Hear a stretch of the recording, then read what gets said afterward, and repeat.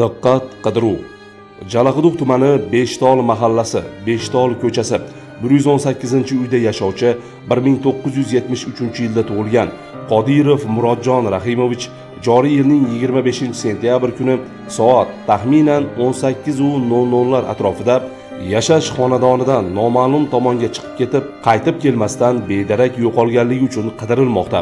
Bedarak yo'qolgan qodirov murodjon rahimovichning belgilari bo'yi 170-175 sm atrofida sochlari qora qirra burun. O'sha kuni bedarak yo'qolgan shaxsning egnida ko'k jinsi shim qora futbolka bo'lgan.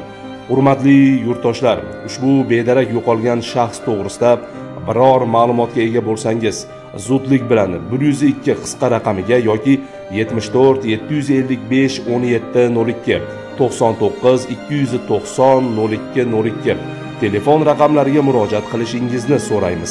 Bedarak yo'qolib qidirilayotgan qodirov murodjon rahimovichning topilishida yaqinlariga ko'maklashaylik.